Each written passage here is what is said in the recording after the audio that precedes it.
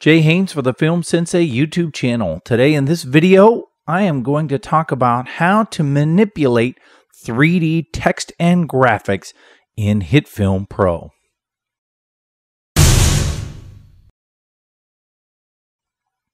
Now, I say HitFilm Pro, but actually you can do this in HitFilm Express. You can do anything in HitFilm Express that you can do in Pro. You just have to buy the right add-on pack. And today we're going to be working with the 3D extrusion. So we're going to sort of do this old school. This tutorial came out of a conversation that I had with my good friend Bill Thomas over at Coast to Coast Drones who said, geez, I can't figure out how to make this type of a video work. And I said, oh, actually, it's pretty easy and maybe I'll do a tutorial. So here we are. What I'm going to do is I'm going to start by creating just a three second composite shot. And this three second composite shot will actually be the text and graphic. And this tutorial is not really about the text and graphic uh, itself. So I'm just going to whip on through this, starting by creating a new text layer.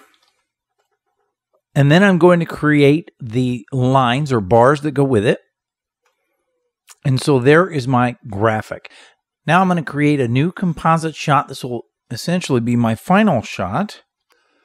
And I will drag in the text and graphic. From here, I'm going to add a camera and I'm going to add a new point, and that point I will make into a 3D plane. This will be the control point, and I am going to add a 3D extrusion effect directly to the text and graphic.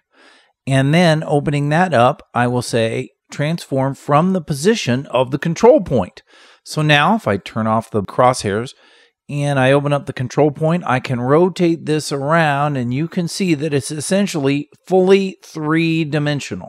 I can even add a light to the scene and as I rotate it around, it's still in fully three dimensional space. If I move the light, then I will have, you know, wherever I want it to end up being is just dandy. So now what I think I will do is just go ahead and keyframe it. So I key, uh, set a keyframe for the Y rotation, go to the end and say one rotation around. I could keyframe any of the rotations or properties and there we go. Okay. Also, uh, I think I will go ahead and just extend the um, extrusion a little bit more, but you can see that that is now in fully three dimensional, right? Now, if I add a background to this, I can just drag in any picture that I want and I can go ahead and make it fit to frame. If I wanted to, also, I could go ahead and make that into its own composite shot, pre-compose it as it were, and then I would uh, just have to adjust it from there, okay? Also, there's a little bit of reflections that happen, which is very easy to do. All I have to do is just uh, add it to the extrusion itself. So, for instance, I may use this picture as my uh, reflection picture, I could just drag that right in here, or I could pre-compose it into its own shot as well. Uh, either way, I won't uh, need to see it. Since it's behind there, it doesn't matter. If I open up the controls and go back into that 3D extrusion, you'll see you have an environmental map properties section. You drop that down, and you just go ahead and use the uh, picture that you have used. You can adjust this. I could knock that all the way down to zero if I really wanted it to be, uh, you know, very, very reflective.